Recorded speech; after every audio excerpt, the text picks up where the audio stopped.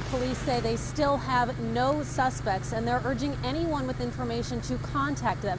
Meanwhile, colleagues here at the Fire Training Academy say they dearly miss Walker's jokes and laughter. And neighbors, they're grappling with what's happened to their neighborhood. One of them is so angry that she's taking matters into her own hands. Nobody knows what happened. Frances Russell, better known as Mama Frances on Lamson Road, has so much seniority and respect here that she's confronting suspected drug dealers herself, hoping to find out who killed her neighbor, William Walker. They all liked the guy. They spoke to him and went about their business. She hasn't gotten any leads or tips yet, but she says she's not backing down either. He was a nice man. He minded his own business. He went to work, he came home. No drama. Last week, the Cleveland fire lieutenant was gunned down in his own driveway, shot multiple times in the chest. Another good man gone.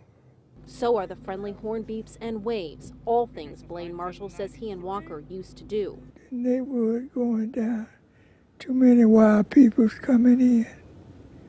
Wild people, drug people. I'll be up pretty late a lot of times, and I like I hear a lot of gunshots and sirens going on around here.